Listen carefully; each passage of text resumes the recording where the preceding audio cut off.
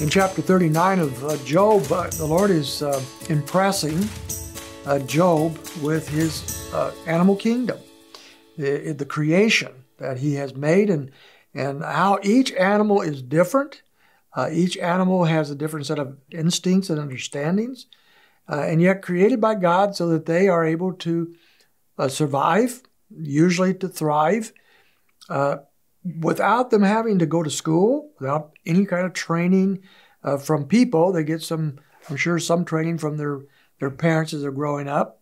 Uh, but uh, for the most part, they're they're on their own, imprinted by God with certain understandings of how to live and how to survive.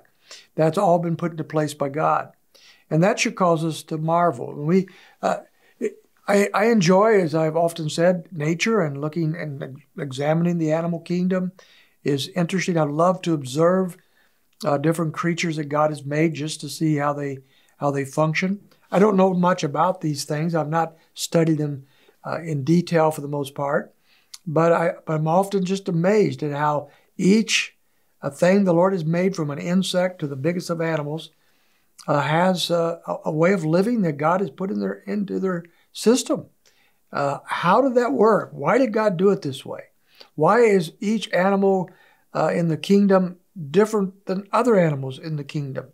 Uh, how does all that work? Well, he's impressing Job with some of those things. We talked about the donkey uh, yesterday, and today we move to the to the wild ox of all things, verse nine.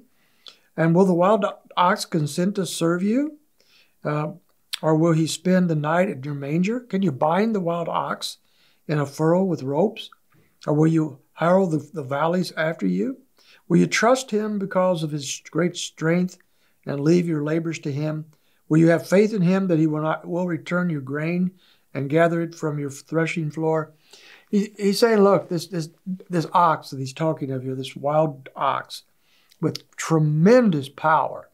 Think of the maybe the water buffalo, that type of creatures. These wild creatures with incredible strength, and yet you don't tame them, you don't control them.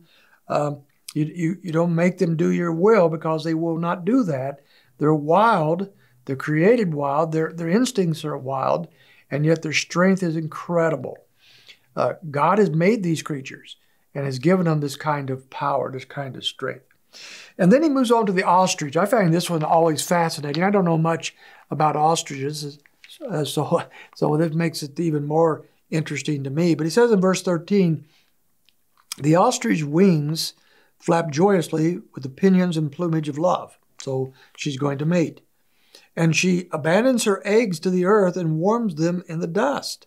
And she forgets that a foot may crush them or that a wild beast may trample them. She treats her young cruelly as if they were not hers. Uh, through her labor, though her labor be in vain, she is unconcerned because God has made her forget wisdom has not given her the share of understanding.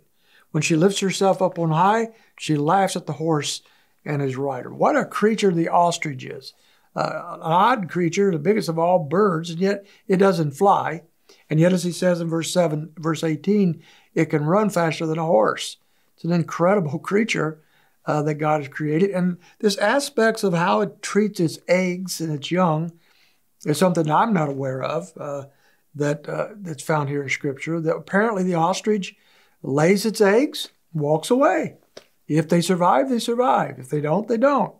Uh, they don't care. God has not given them that understanding of taking care of their eggs like uh, other uh, birds might have. If they're, when their youngs are hatched, they apparently don't do much to take care of them, as other birds might do.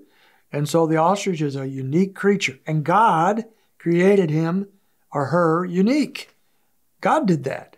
Uh, so we're looking at these different things, each differently created, each differently uh, different in its looks and its instincts and so forth, and yet all created by the Almighty God of the universe. Job should think about that. So should you and I. We're going to continue looking at some of the God's creations uh, next week. I hope you can join us.